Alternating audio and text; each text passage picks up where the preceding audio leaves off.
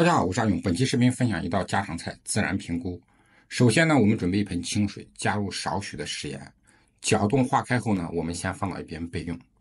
下面准备平菇五百克，我们先用刀给它切去根部。下面呢，再把平菇撕开，放入到盆中。由于买回来的平菇的种植特性呢，表面会有一些杂质，盐水泡洗呢也有助于杀菌。下面呢，我们把这个平菇呢给它淘洗一下。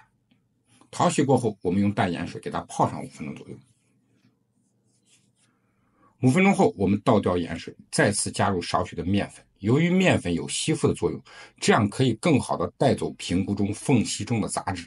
清洗抓拌上一分钟左右呢，我们下面倒入清水给它清洗干净。清洗干净的平菇呢，我们放到盘中备用。起锅添水，水开后，我们加入少许的黄酒。放入黄酒是为了去掉平菇的菇酸味，有后酸味。不在乎这个的可以不用放，根据你个人口味来定。下面呢，我们倒入平菇，给它焯一个水。水再次滚开后，即可控水捞出，再次冲洗干净后备用。下面呢，我们把焯水好的这个平菇呢，给它用手挤干水分，放入到盘中。这样子一会儿炒这个时候就不会出现不停的冒水的情况。下面呢，我们再准备绿椒少许，给它改刀切丝。现在看到就是准备好的希腊的面、葱蒜末、孜然粉以及尖椒丝。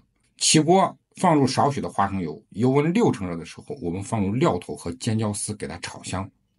下面呢，再放入辣子面和孜然粉。这个时候火为中小火，大火的话会很容易炒糊。炒出香味后，我们倒入平菇，翻炒均匀。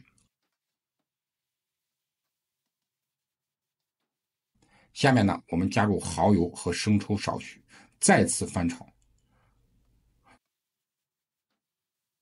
翻炒出味后呢，我们放入一克白糖、两克食盐、一克鸡精，再次翻炒上六七八九下后，即可出锅装盘。这样一道自然平菇就做好了，是不是很简单呀？生活多么不易，美食永远能带给你温度。你学会了吗？想探索更多日常美食，请收藏点赞阿勇美食小厨，阿勇将持续给你带来不同的美食分享。